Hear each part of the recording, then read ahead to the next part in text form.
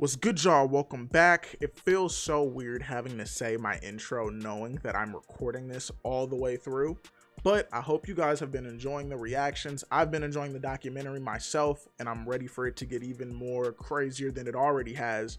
Um, I hope you guys are enjoying it though. Original video link will be down in the description. Let's get into the video p.m. during practice for the Busch 200, Adam Petty's car goes straight at the entrance of turn 3 and smashes into the wall nearly head on. There is no footage of the accident, but eyewitnesses say the car briefly catches fire as it grinds to a stop against the outside wall. That sounds fucking horrible. As the Petty team prepares the backup, emergency crews begin to cut the frame of the primary. Petty is removed and transported by ambulance to a helicopter pad outside the track, where an airlift awaits. By the time Petty arrives at Concord Hospital, he is pronounced dead. The cause of death is originally listed as serious head injuries, but it is later clarified as a closed head injury at the base of the skull, also mm. known as a basilar skull fracture. The number 45 car is covered in a tarp, then removed from the track. While it's never officially confirmed what happened to the car, it's believed to have been buried. The team withdraws, the future of both team and family very much in doubt. Well, today's show was meant to be a celebration of Adam Petty's life. He was certainly just a fine young individual. Just a prince of a guy. He came from one of the finest families that you'll ever want to meet. And our prayers and best wishes continue to go out to the entire Petty family. You know, this is a very dark time, but I know what I'm going to do when I think of Adam Petty. I'm going to remember that smile. And I encourage fans to do the same thing. Remember the smile, then it won't be so bad. Very good point, Steve. Remember the Petty smile. The somber race is won by Tim Fedewa. Interestingly, this is the only Busch Series race of the first 13 where Irwin's number 42 is not hmm. entered.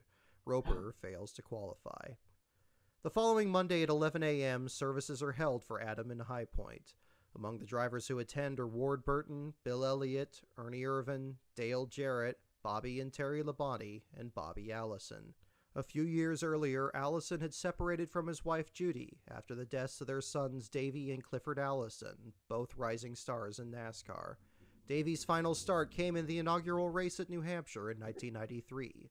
Clifford's passing, which happened following a crash in a Busch Series practice session at Michigan in 1992, was the most recent death in the series before Adam. The couple reunites. Sorry if you guys can hear my fucking family. dog coughing. Later that summer, will remarry in Bessemer, Alabama. On May 17th, five days after Adam's death, Kyle Petty says he won't run the Winston Open at Charlotte, where a 4x6 foot flag bearing Adam's name will fly over Victory Lane. Four days later, Adams' Busch Series team is also withdrawn from the next race in Charlotte on May 27th. Kyle won't run that weekend either, and the team has put Steve Grissom, the team's Truck Series driver, into the number 44 Hot Wheels Pontiac. Grissom will fail to qualify, joining a list of five DNQs. On May 20th, Lyndon Amick carries a petty blue decal on his hood for the ARCA race at Charlotte. By race's end, Adams number 45 rolls into victory lane for a second time. Corner. No, not going to happen. Lyndon Amick will win his first career ARCA victory with Kerry Earnhardt and the veteran Tim Steele in tow. Lyndon Amick led the final 19 laps of the event, scores the victory. There you see him driving by what's left of the Shawna Robinson car after she was involved in an accident in turn one in the last lap scramble to the finish. But it is Lyndon Amick from South Carolina in the Ken Schrader Racing entry here. He has scored the victory, his first in the ARCA Series. He's a happy young man wearing an Adam Petty hat tonight. There he is. Lyndon, your car owner, Kenny Schrader, was not very encouraging on the radio. He said you had better cars behind you. Did you think you could hold those guys off? Well, I knew if I just hold my head, and uh, I tell you, run this race like Adam did two years ago. Uh, he won this deal, man. We're carrying his name on the hood. This means the world to me, and this is for the Petty family and for Kyle. And we love them to death. And you know, our hearts are with them, and I'm with them all week, and that's why I want to do this. It was my idea to put this guy on the hood, and uh, he was with me tonight. It's against this backdrop that Kenny Irwin Jr. competes in his second run of the, heart All-Star race. As in 1998, Irwin advances to the main event by being the new driver of a team that won the previous season. Sponsor Bell South celebrates their first start in the All-Star race with a special paint scheme for Project Impact, a disaster readiness program in collaboration with FEMA. The race gets off to a bad start when Irwin breaks loose in turn 3, putting John Andretti into the outside wall. Irwin finishes 12th, one lap down to Dale Jr. Despite the struggles, for Irwin, it's a welcome distraction from the persistent rumors about Chip Ganassi investing in Team Sabco, and now new rumors about switching to Dodge, rumors that don't include Irwin or his teammate Sterling Marlin staying with the team. Then, after the race, a concrete walkway leaving the Charlotte track collapses. 78 fans are injured, 13 of them critically. Fortunately, none are killed. One week later, Irwin makes what will turn out to be his 14th and final Busch Series start. He finishes 20th, then runs 24th in the Coca Cola 600. Across the garage, Tony Roper is frustrated. Contrary to what he was promised, the Washington Erving team's cars are old and slow, accounting for his several DNQs. In qualifying for the Busch race, Roper is swapped out of the number 50 for Stanton Barrett, but Barrett also fails to qualify. The team insists this is only a temporary change, and that Roper will be back behind the wheel at Dover. That changes on June 1st, as the Dr. Pepper team isn't entered at the Monster Mile. One driver who is entered is Kyle Petty, who to Richard's surprise will not only run the Cup race, but drive Adams' car on Saturday. The moment overwhelms Kyle in his first public appearance since the accident. You know, coming in here last night and just rolling through the front gate of the racetrack and knowing that, that Adam wasn't here was uh, pretty hard. I, I don't think the emotion of getting back in the car um, and getting in his car is going to be that bad because I've been around his crew every day and been around that car every day.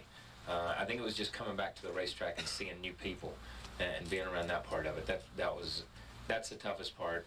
We used to joke about being a father and son and best friend, but it was it was a lot truer, and I, I think we are. We were, and I, I think Austin and I, and Montgomery Lee and Patty and all of us are in the same way. So um, I think that was, eh, I don't know. It, we just we tried to do that because we felt like that was more important than the racing stuff. Racing's important, but that was your family was a lot more important. Kyle qualifies for the Busch race and runs as high as sixth before a late pit stop drops him to 26th. Kyle misses the field for the Cup race but serves as a relief driver for teammate John Andretti, who is struggling with rib injuries from his tangle with Irwin in the Winston. He does all this at Dover, site of Kyle's last Cup victory and Adams' first laps led in the series. Irwin finishes 17th at Dover after qualifying 11th, and at one point nudges Jimmy Spencer out of the way. June 11th, Michigan. Kyle Petty gets his number 44 into a cup race for the first time since Richmond, but a blown engine leaves him 39th.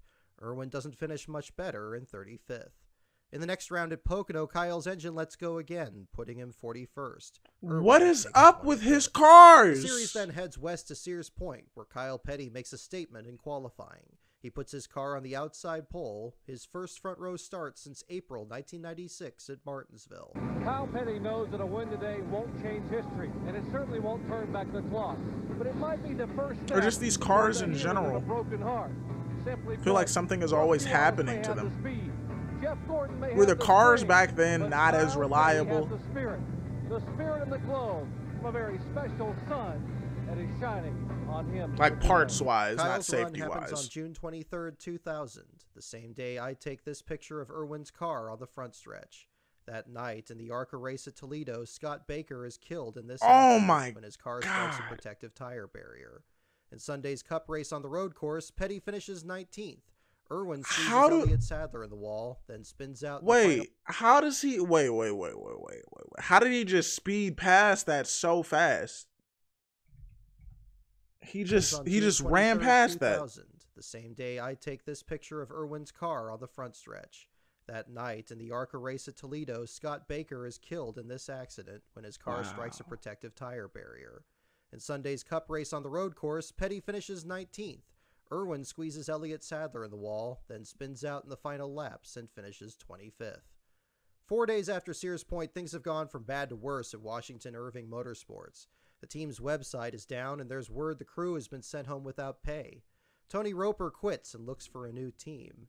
It's heard he may still have support from Dr. Pepper as a sponsor, but that falls through as they sign with David Green at CC Welliver. Later that same week, Roper tests with Alumni Motorsports, a struggling single car Busch team fielded by Ohio State alumnus Brent Bouchou. The team doesn't go with Roper for the next race in Milwaukee and sticks with Lance Hooper. Meanwhile, Kyle Petty arranges with ASA driver Scott Hansen to qualify the number 45 at Milwaukee, while Petty runs the Cup race in Daytona that coming Saturday. Kyle finishes 30th in this Daytona race, held on July 1st, which also marks the final Cup race broadcast on CBS. That Pepsi 400 will become the 87th and final Cup start for Kenny Irwin Jr. Irwin stays out to lead lap 86 under caution, the 179th lap he's led in a Cup car. On lap 123, he makes this daring move down the backstretch. They're pinching me every once in a while up here as they go five wide, six wide down the back straightaway. That's for about 13th that Jarrett moved into. He was 29th after he had his uh, tire problem, that long pit stop. Kenny Irwin, that green car, ran the whole back straightaway on the apron to gain position. Irwin finishes 22nd and sits 28th in points, exactly where he ranked at the end of his rookie season. It's been a frustrating year, but outwardly, Irwin has reason to smile. Seems like an Ganassi has extremely gone over frustrating plans year. for him to stay in the number 42 in 2001, and he'll be driving a brand new car the next week at New Hampshire. He's also planning on marrying his girlfriend and is thinking of the right way to propose. I hope his Next new day car on July runs better 2nd, than the one Kyle he has. Petty travels to Milwaukee, where Scott Hansen has qualified the number 45 car in 18th. Petty finishes 8th, the first top 10 finish of the year for the team. That same day, NASCAR officials looking into Adams' crash report no signs of mechanical failure. While crew chiefs still point to a stuck throttle, Mike Helton says there is no evidence of that. Regardless, Petty will not compete in the following week's Cup race in Loudon, and again hands the wheel to Steve Grissom. However, Richard Petty will make the trip to Loudon as a goodwill gesture to track President Bob Bahre. The King will be there in time for opening practice on Friday, July 7th.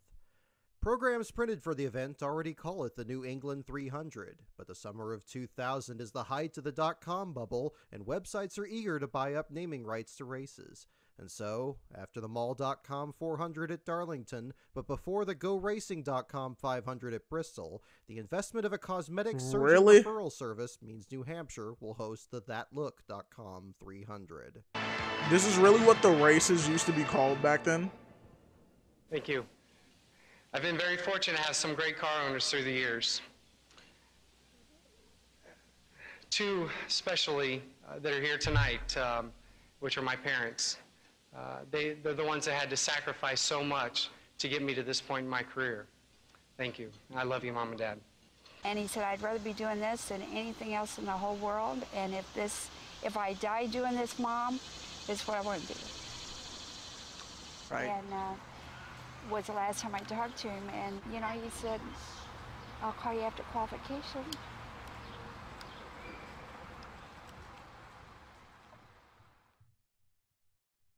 Eleven twenty-three a.m.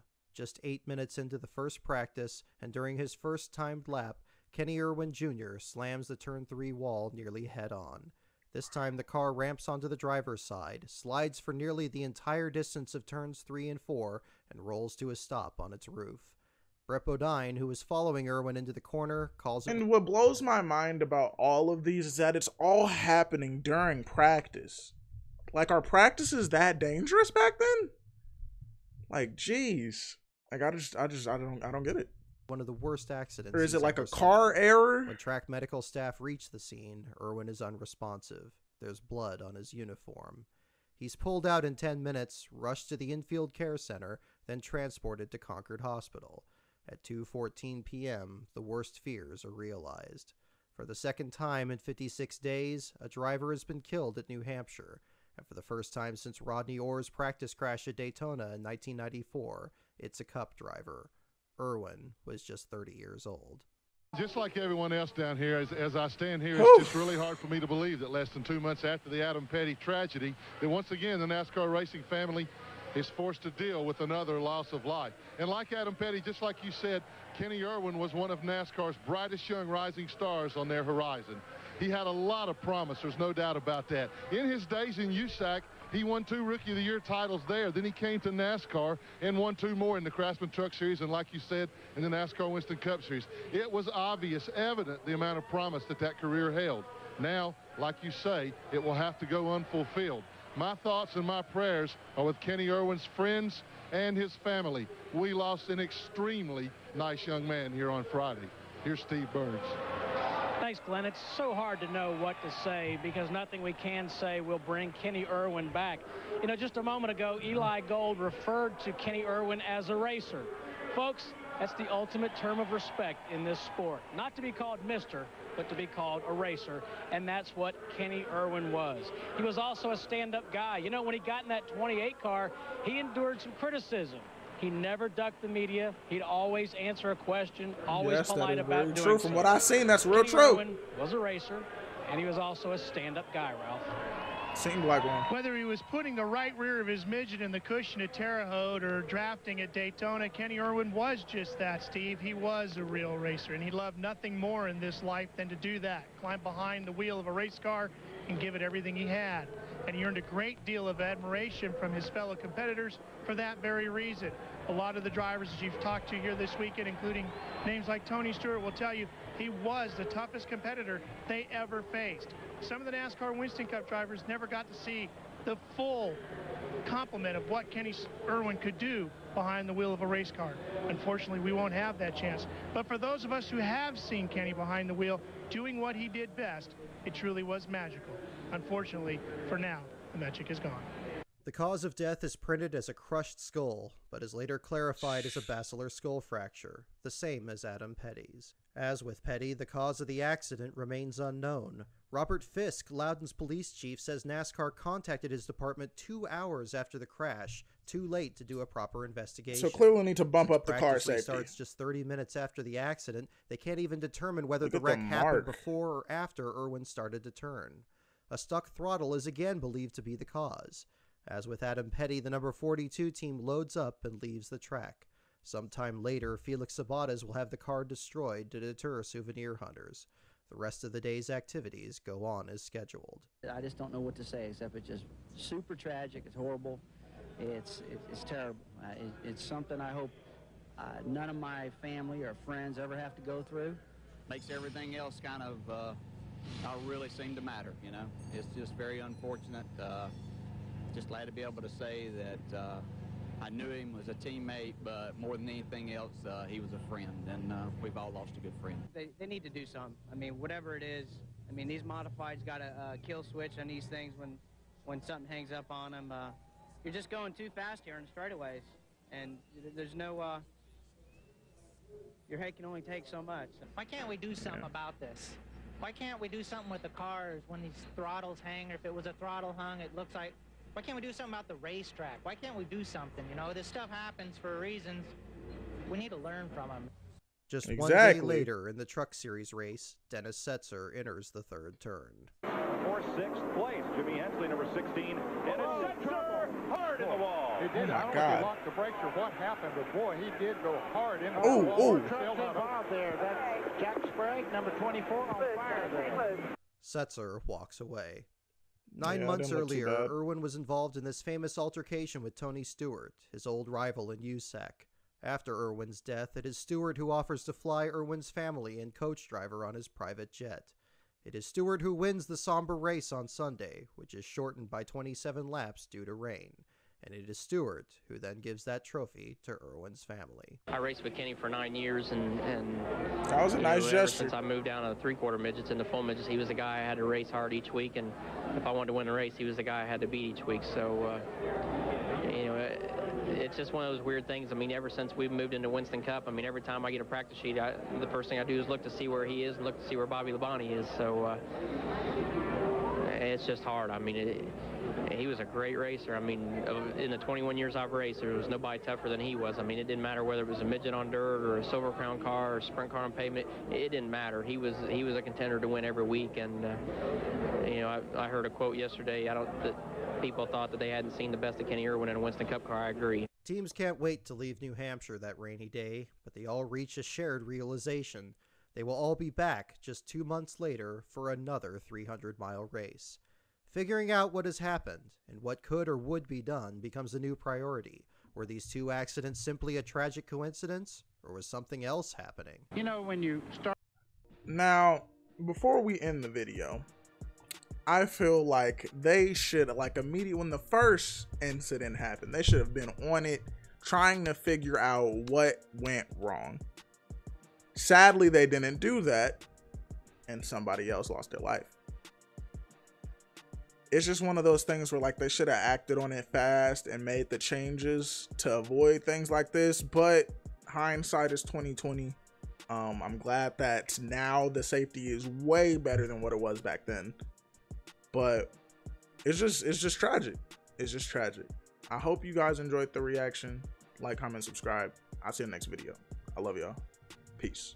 They wanna forward, like I was down bad, was stuck in the mud. Now nigga done cleaned up Louis V on the so so.